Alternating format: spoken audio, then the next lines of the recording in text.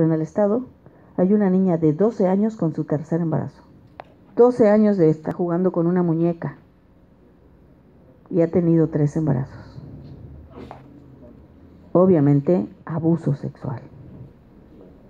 Una niña de 12 años está muy lejos de querer acceder, acceder a quedarse embarazada voluntariamente. Entonces, tenemos 260 embarazos al 2016 en niñas de 10 a 14 años. Es una prioridad para este año y para este gobierno llevarlo a cero al 2022.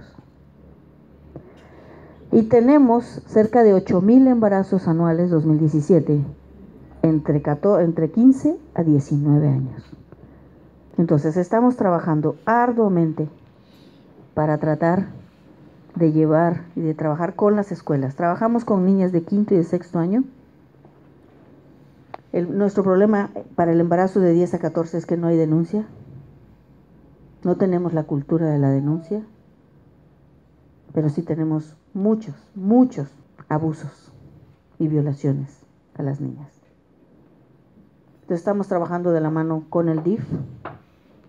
Lamentablemente lo que llevamos hasta ahorita son padrastros, tíos, hermanos, todos son familiares consanguíneos de las niñas violadas. Sin denuncia no se puede hacer nada por oficio.